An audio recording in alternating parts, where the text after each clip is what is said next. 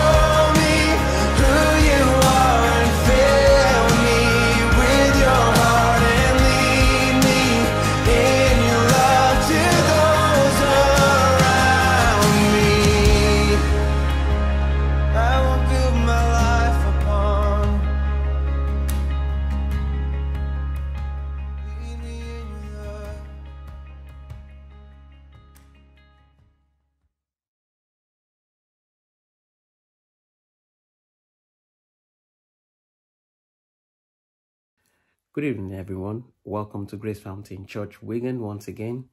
Uh, so great and fantastic to have you once again tuned in uh, to another of our service. Uh, it's I believe it's a wonderful time for us to come together to exalt God's powerful name, to share the knowledge of God, and to feed from one another, to to bless one another with His word.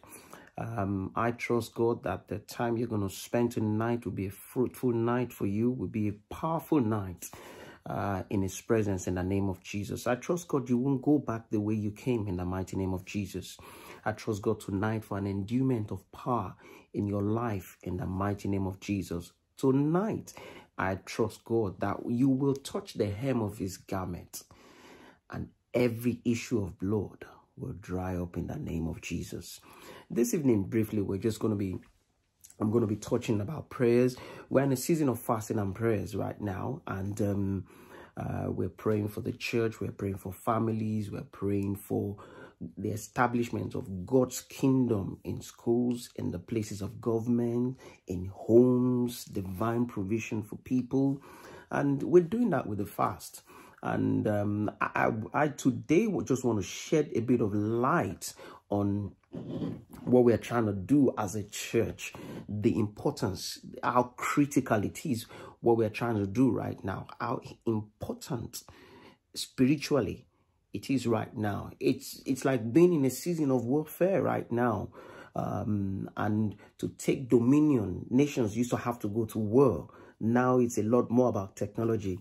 But to take dominion in the kingdom of God, it comes by prayer and it also comes by fasting as well. Those are one of those are two of the ways you actually take dominion in the kingdom of God.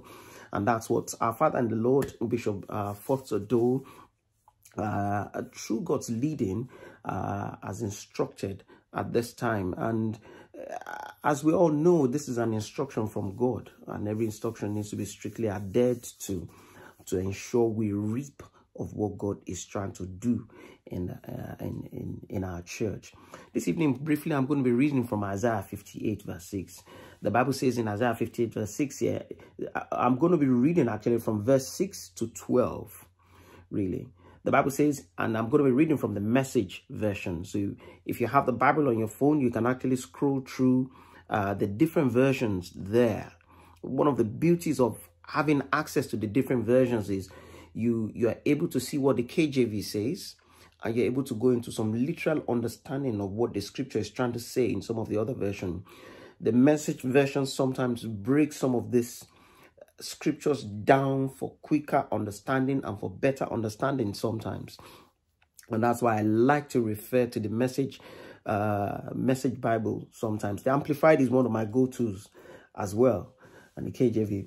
But reading from the Message Bible from verse 6, the Bible saying, Is not this the kind of fasting I have chosen to loose the chains of injustice and untie the cords of the yoke, to set the oppressed free and break every yoke, not some, every, in the process of this fast. The Bible says in verse 7, it is not to is it not to share your food with the hungry and to provide the poor wanderer with shelter when you see the naked to clothe them and not to turn away from your own flesh and blood. Hallelujah. We touched briefly about this on Sunday, and I pray you picked up something from that. The Bible says in 8, said, Then your light will break forth like the dawn, that after heeding to the instructions of God. It says, Your light will break forth like the dawn. Hallelujah. And your healing will quickly appear because you are adhering strictly to the instructions of God. Then your righteousness will go before you, and the glory of the Lord will be your rear guard. Hallelujah. In verse 9, then you will call, and the Lord will answer. You will cry for help, and he will say, Here I am. Hallelujah. I pray that's your portion in the mighty name of Jesus. If you do away with the yoke of oppression, with the pointing of finger and malicious talk, and if you spend yourself in, on, in behalf of the hungry and satisfy the needs of the oppressed, then your light will rise in the darkness. Sometimes we are praying for some things, and God's instructions here is telling us some things. God is saying, go out and feed my people. God is saying, go out and clothe my people. Sometimes what we are praying about only needs obedience to some instructions. In verse in verse 10 and says, and if you spend yourself in, sorry, and your light will rise in the darkness in verse 10, and your, and your night will become like the noonday. The Lord will guide you always. It will satisfy your needs in a sun-scorched land. Hallelujah. He's saying, even in the deserts, I will provide for your need. irrespective of where you are right now, where you feel hopeless. God is saying, I can provide your needs. That's why he's saying, He will satisfy your needs in a sun scorched land, in the desert place, where nothing seems to be growing, where nothing seems to appear. God is still promising to stand by you and will strengthen your frame. You will be like a well watered garden. Hallelujah. Imagine God telling you, you will be like a well watered garden, even in the desert place. Shanda. He said, like a spring whose waters never fail. And then verse 12, he said, Your people will rebuild the ancient ruins and will raise up the age old foundations. He said, And you will be called repairer of the broken walls restore our streets and dwellings. The tenets and the principles of God have, for a while right now, been eroded from our lives. We've, the world has gone on its own pace. No more is a is a government consulting with the church. No more is a government talking to the church. You have people in government right now who don't even care about God. Uh, we have so much perversion going on right now. But I wrote here something said one of the key reasons for a prayer and fasting time like this is to restore the church. Who is the church? You and I. The, one of the key reasons for a paramount a, a time like this, the Bible, it, I, I wrote to restore the church to its paramount position amidst God's people. He said, restoring the church back to its rightful place in government, in our in homes, in education, in all major sectors and facets of life, so that the Lord's principles and dictates will be followed. Today, the, ch the church has deviated from a lot of these principles. We no longer care about the hungry. We don't long, no longer care about the widow. We no longer care about, care about the people that are not clothed. Clothed it's it's it, we've become a world of me myself and i where we don't care about the people around us but god is saying in verse 12 your people will rebuild the ancient walls your people will raise up the age-old foundations god is saying i want to restore lost glory to the church I, I know it's sounding like the fabrics of the church right now but God is just using this to express what he's trying to say. The church is not about the bricks and mortar or the roof lighting right now. No. God is saying, I want to restore my church. I want to fill my church with glory. I want to fill my church with power. I want to fill my church with signs and wonders. A man of God says something that only fools doubt proves. Imagine you going out to speak to people and they're telling you, I'm hungry. You put your hands in your pockets and you meet their needs. They're telling you, I've got a headache. You lay hands on them and they're healed. I don't think it will be difficult to preach the word of God again to such people. God is saying that is the kind of place I want to restore my church to. God is saying I want to restore my church to the place of government where my church becomes government, where the dictates and my tenants are what governments are going to follow. So that when it comes to teaching our children, the principles of God's kingdom is what is taught our children, not ideas men fabricate. God is saying in our homes, I want to restore glory. I want to stop homes breaking apart. I want my word I want my tenants. I want my grace. I want my favor to dwell with people in the house. All this requires the power of God. All this requires the help of God. All this requires coming to an understanding and agreeing together, praying together for an endowment of his power, for a restoration of glory. As you see here, the Bible says here from verse 6, is not this the kind of fasting I have chosen to loose the chains of injustice and untie the cords of the yoke and to set the oppressed free. God is saying there's a newness coming upon the church. There's an enthronement coming upon the church. But guess what? Who's the church? You and I. That means we have to align ourselves for God's glory to descend upon our lives. We have to position ourselves in righteousness, ready for an endowment. One thing I know about God's power is this. God's power never comes to you when you're just when you just feel you can continue what you're doing before and expect the same result. No. It takes you separating yourself in fasting and prayers. Like the time we're in right now, like what the father of the house has uh, has, has declared upon the church. I, I believe God at this time is trying to endue us with power to an extent that when we go out to minister the word of God, we are speaking with power and not just understanding. Listen, there's there's a realm of just speaking the word and just speaking the word.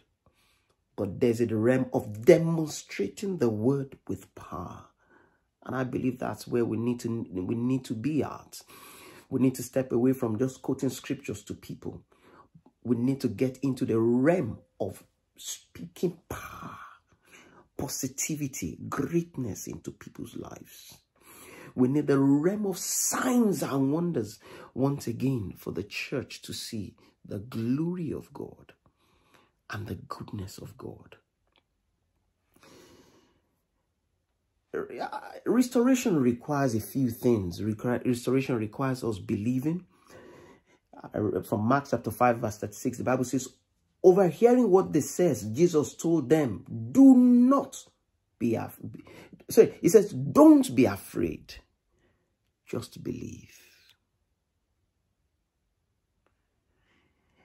It, it necessitates us trusting God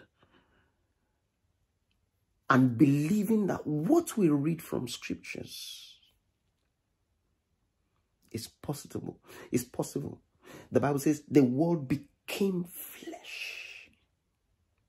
That's the word becoming reality to us. And that when God is saying, look, greater works shall ye do. That means you can go out and raise the dead. I believe the church is coming back to that phase. Jesus Christ performed notable uh, uh, miracles when he was when he was around. He he raised the dead. He turned water into wine. All in a bid to show people that the power of God, the glory of God is real. I believe through this fasting, God is giving us an opportunity for an endowment with his power in the prayer, place of prayer, in the place of fasting. In the place of, I believe it's more of a place of separation. You see, sometimes we think about the food, we're not eating and all of that. It's not about that. It's just a, a place of separation where our spirit man is attentive to what the Holy Ghost is saying. Where our spirit man is receptive of what God is trying to say. It's, it's not about the food. No. It's just a place of separation for an endowment of his power. God is doing a new thing in our lives. You don't you never put new wine in old wine skin. There's a reason for that. You have to put new wine in new wine skin. God is saying, I want to renew you spiritually to get you ready for what I am about to do. Bible says, seek ye first the kingdom of it and his righteousness. And all these things, as you're seeking God's kingdom, as you're seeking the right standing of God's kingdom, God is saying, I want to, I want to renew you. I want to improve you. I want to take you on to the next step. But you require power to dwell in that realm. We wrestle not, the Bible says we wrestle not against flesh and blood. No.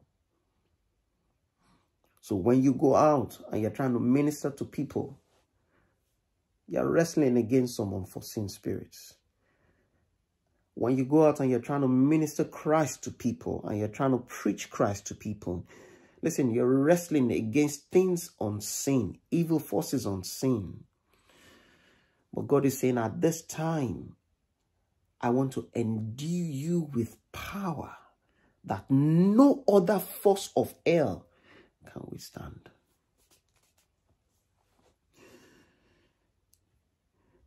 Restoration requires power. In Acts chapter 1, verse 8, the Bible says, But you shall receive power after that the Holy Ghost is come upon you.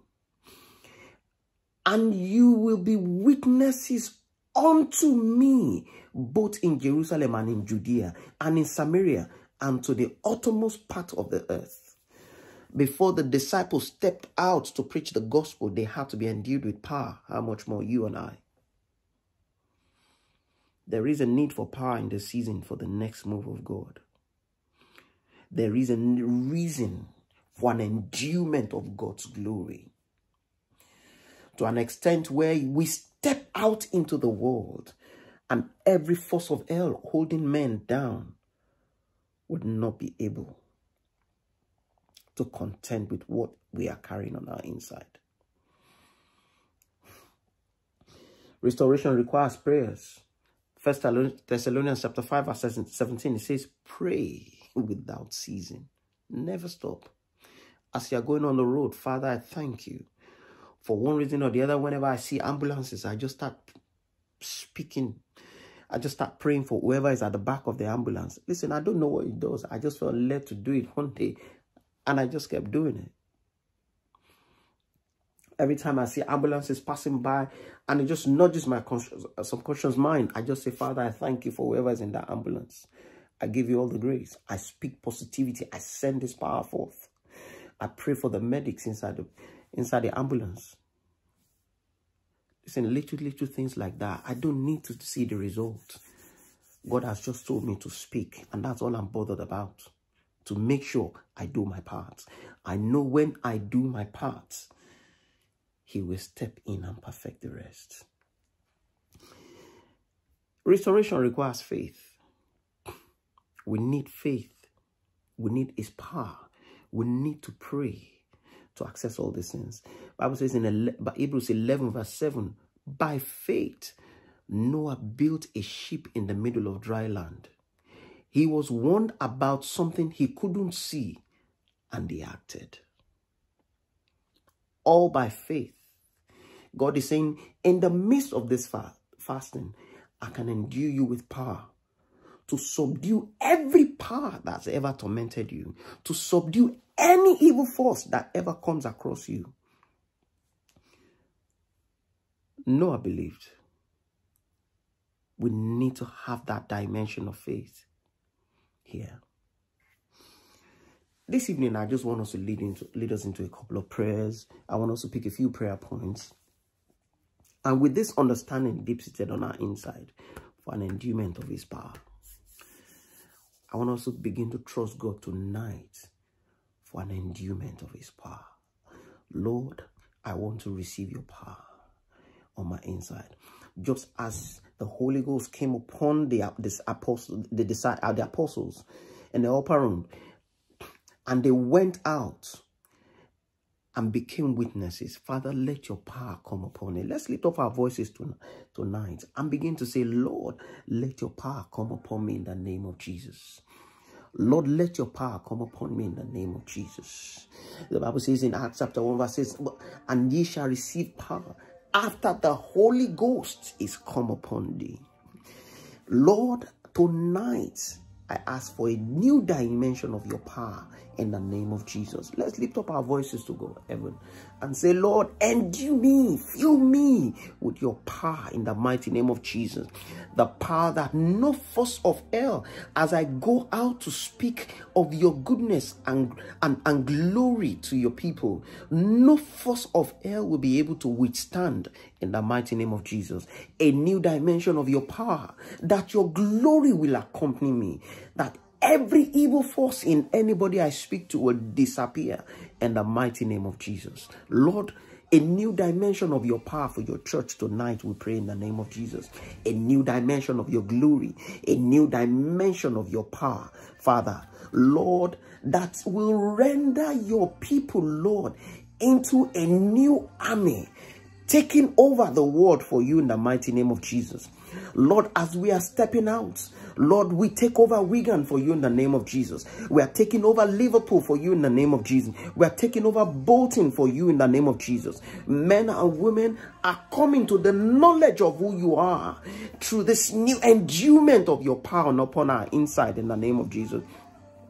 We thank you, Father, because we are becoming a relevant church with your signs and wonders in a new wave and dimension in our midst in the name of Jesus. Lord, we thank you tonight for an endowment of your power. We thank you for an endowment of your power in the name of Jesus. Tonight, let's also, also trust God for divine provisions for our people. Bible says, My God shall supply all my needs according to his riches in glory. It didn't say some of them. Let's just say, Father, Lord, we ask of heaven tonight that you will supply the needs of your people in the name of Jesus. They won't go hungry. Their neighbors will not go hungry. Their friends, their families around them will not go hungry. That you will use our people as a point of contact to everybody around them in the name of Jesus through them you will be they will begin to feed multitudes in the mighty name of jesus. There's a realm of provision that takes you beyond thinking about yourself to thinking about the people around you. There's a realm of divine provision and that is where i believe we need to be because that is the charge of god for the time for us. Father, Lord, we thank you for your divine provision. Let's lift up our voices and say, Father, we thank you for your divine provision for us in the name of Jesus. We thank you, Father, Lord, because you are providing for your people in the name of Jesus. We thank you, Father, because you are meeting their needs in the name of Jesus. Thank you, Father, for financial needs are met. Thank you, Father, Lord, because their food cupboards are filled to the brim and overflowing in the name of Jesus. We thank you, Father, because their provisions, Lord, are overflowing into the lives of their friends, into the lives of their families, into the lives of men and women you will send their way in the name of Jesus. We thank you, Father, because even as their bands are overflowing, as they are showing love to everybody around them, as kingdom provisions begin to ah Elushan de Kaladia, Lord, I decree kingdom provision flowing from your church in the mighty name of Jesus tonight. I decree kingdom provision. Lord, tonight I ask of heaven that you will make your people, Lord, a source of kingdom provision for everybody that comes their way in the mighty name of Jesus. We thank you, Father, because there will be like a mighty gushing tap in the name of Jesus. Father, overflowing into men and women around them in the mighty name of Jesus. Lord, overflowing in the name of Jesus. Lord, we ask for a new dimension, Father, of your provision in the name of Jesus. That none you send to them will go hungry in the name of Jesus. Lord, ah, Father, we thank you. We thank you. Lord, make them an unending source of provision for many, for the multitudes in the name of Jesus. Father, that as they are meeting their needs and speaking of your glory, many are flowing. Ah, Lord, we bless you, Father. We bless you, Father. We bless you, Father. We bless you, Father. We bless you, Father. I just hear God saying there that as we become a blessing to many and begin to speak of his glory, he's going to bring men and women into his church by reason of your of his divine provision in our life. it's going to bring many. it's going to bring the multitude to the knowledge of his love, to the knowledge of his glory, to the knowledge of his grace. In the mighty name of Jesus. I trust God as you obey these things. I trust God as men begin to come and knock on your door. You will become a source. You become a, a, an unending stream of God's provision in their life, of kingdom provision into their lives in the mighty name of Jesus. Moving on uh, quickly, we're going to pray for redemption for all. We need men and women to come to the knowledge of God's glory, to partake of this table with us, to come and enjoy of his goodness, of his presence, of his grace, of his glory. The Bible says in, in, in 2 Peter chapter 3, verse 9, it says, The Lord is not slack concerning his promise. Hallelujah. As some men count slackness, but is long suffering towards us all. Hallelujah. He's patient. He wants us all to come to the knowledge of who he is and not willing that any should perish. Hallelujah. But that all should come to the to repentance. This evening we're going to say, Father Lord, use me to your glory. Use me to bring many to your kingdom in the name of Jesus. Use me in the various departments of your church. There's no department that is too small in God's kingdom. There is none. There is no small department in any church, in any group of Christians. No, there's any. And this evening, this evening, I just want us to lift up our voices to him and say, Father, use me to your glory to bring many to your kingdom in the name of Jesus. Use me to your glory to bring multitudes and many to your kingdom in the name of Jesus. Use me to your glory, Father, in the name of Jesus. Father, God is willing, God is wanting to reach the ends of the earth so that none should perish and that all should come to his glory. Let's begin to speak that. Let's begin to pray that his power through us will bring multitudes into his kingdom and that this power will not just re, it, it will not just abide with us we will become carriers and communicators of this power in the name of jesus lord we thank you father for many will come to the knowledge of who you are in the name of Jesus. Many will come to the knowledge of your glory. Many will come to the knowledge of abounding love upon us in the mighty name of Jesus. Many will come to exalt, to magnify you together with us in the name of Jesus. We thank you, Father, Lord, because every force holding them back is broken, is destroyed, is consumed by your fire in the name of Jesus. We thank you because they come mightily, Lord, into your come. They flow in in the mighty name of Jesus. Father, we thank you, Lord. We thank you, Father, because Grace Fountain is moving into a realm of multiple services to accommodate these people in the name of Jesus, to feed them of your word, to nurture them in the way of Christ in the name of Jesus, and to send them out again as disciples. Lord, we give you praise. The structure, the people. Ah, Lord, we thank you, Father. We thank you, Father, for an army ready to look after these multitudes coming in the name of Jesus. We thank you, Father, for an army of your people, willing and obedient, Father, to, to, to stand in the gap and give the time to look after these multitudes coming into your church in the name of Jesus. Lord, we bless you. Lord, we give you praise.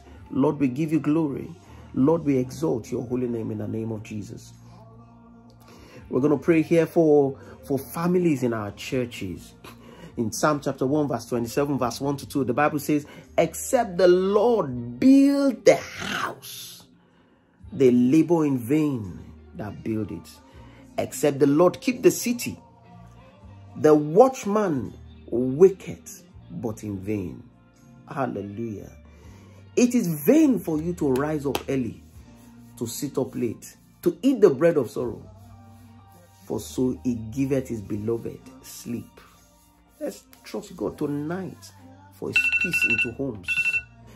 Let's trust God tonight, today, for his peace into homes in the name of Jesus. Let's begin to let's let's begin to lift up families into his hands and say, Father Lord, let your peace, let your favor, let your glory, let kingdom wealth flow into families in the name of Jesus. Let your name begin to tabernacle. So many homes today are dwelling without the knowledge of Christ in their midst. Father, Lord, cause husbands to come to your knowledge. Cause wives to turn, come to your knowledge. Cause children to come to your knowledge in the name of Jesus. Lord, cause them to come and partake of this glory in the name of Jesus. Cause them to come and partake of this awesomeness, of this greatness in the name of Jesus. Cause them to come and cause, cause them to come and be a part, Lord, of what you are set to do in the name of Jesus. Lord, build kingdom homes in our midst, Father, in the name of Jesus. Homes that will open their doors, Father, and bring even more into the knowledge of who you are and what you are in the mighty name of Jesus. Father, Lord, homes that will become, Lord, a resting place, Father, a hiding place, Father, for the fatherless, for the motherless, in the name of Jesus. Homes, Father, Lord, where, Lord, unbelievers will come and find you and find your peace and find your love in the name of Jesus. Homes, Father, Lord, that will radiate your love to the ends of the earth and bring multitudes in to his king into your kingdom in the name of Jesus. We thank you, Lord Jesus. We thank you, Lord Jesus. We thank you, Lord Jesus, today. We exalt your holy name. We magnify you for who you are and for what you are for what you are what you are doing in our lives, Father, in the name of Jesus. Father, tonight we thank you. We exalt you. We magnify you. We say to you be all the praise. To you be all of the glory. To you be all of the honor. In the name of Jesus. Father, Lord, even as the instructions of this fasting period has come from your son, I ask of heaven, Lord, that many amidst our church will find the strength to run this race that has been set ahead of us in the name of Jesus. Many will find the grace to run, to follow through in the name of Jesus oh with these instructions in the name of Jesus. We thank you, Father, Lord. Many will be endued with your power. Many will come to the knowledge of your glory. Many will come to the knowledge of your love in the name of Jesus. I thank you, Father, because many will become carriers in the mighty name of Jesus. We thank you because your power will flow through your church in the name of Jesus and bring in the multitudes to, to the knowledge of your glory in the name of Jesus. We thank you, Father, because a new army is arising from Grace Fountain Church. A new army, an army endued with your glory, an army endued with your power, an army ready to serve, ready to follow, ready to run in the name of Jesus. A new army is coming, Father. In the name of Jesus, we thank you. Ready to serve Leko Suta Kaladia, a new army, Lord, Areko Sonda Labradia, ready to stand in their offices and ready to run, ready to prepare the ground, ready to till the ground, ready to bring many to the multitudes that are coming in with in the name of Jesus. Lord, we thank you because we decree tonight your power is flowing through Wigan in the name of Jesus. And bringing men to the knowledge of who you are in the name of Jesus. We thank you, Father, because your love is permeating, your love is radiating through homes today in the name of Jesus. We thank you because your glory begins to permeate through this land and neighboring towns and even this country and even other countries in the name of Jesus. Lord, we thank you because men are rising up and asking, where can I find you? Many are led to churches. Many are led to come in and worship. Many are led to come in and give you glory. Many are risen from sleep, Lord, and walking into churches and saying, I just want to know about this God. I just want to know about this King in the name of Jesus. Father, we thank you because many are convicted to the knowledge of your love in the name of Jesus. Many are come and co are convicted, Lord, to the knowledge of your glory, to the knowledge of your power, to the knowledge of your honor in the name of Jesus. Lord, we thank you because many, many are convinced that you alone, you alone are able to do much more that we can ever think or imagine. Lord, I thank you for everyone that's come tonight, Father. I thank you, Lord, for an endowment of your power upon their lives in the name of Jesus. I thank you because, Lord, just as the power came upon the apostles and they went out and witnessed with signs and wonders, I thank you because these ones will go forth with signs and wonders and bring back multitude of testimonies to your glory in the name of Jesus. We pray over the father of this house in this season of newness. We thank you, Father, Lord, that the grace to run this new race you are setting ahead of us, Lord, we thank you. The strength, Lord, the power, Lord, men to support him on this new race. We give you praise, Father. We thank you, Father, for our mother as well. Mommy Betty Doe, we thank you for the great and mighty things you are doing through them, Lord, in the name of Jesus. We thank you, Father, because they bring us so much joy. They bring us so much happiness, Father. We ask of heaven that you will multiply this in multiple folds back into their lives, into their children, in the mighty name of Jesus. We thank you because many will come to the knowledge of who you are through them in the name of Jesus. Father, we thank you for the grace to lead us in this newness in the name of Jesus. The grace, Father, and we receive, Lord, as well, the grace to run with them, Father. The grace to lift up their hands, Father, on this new assignment. We thank you, Lord Jesus. We give you praise. We give you glory. In Jesus' mighty name we have prayed. Amen. Amen. Everyone, I hope you've been blessed tonight. I've been mightily blessed tonight. I was meant to go do some things now, but I just felt I needed to do this and I just felt I needed to enjoy this presence this morning. I, woke up this morning feeling somehow, I think maybe a little tired or something, but this has been refreshing for me. I don't know about you, but I trust God that this new season, God is set to do a new thing in our lives, in our church, and in this environment in the name of Jesus. Thank you very much once again. I pray the Lord bless you mightily and increase you abundantly in the name of Jesus. See you on Sunday. Please don't forget to comment. Don't forget to like uh, the page. Don't forget to subscribe to the page so you are notified when we come up. We're getting so many people being a part of everything right now. Even some people I've not seen in a while. We're getting them engaging right now. And it's all thanks to you. God bless you immensely in Jesus' name. Amen. Amen.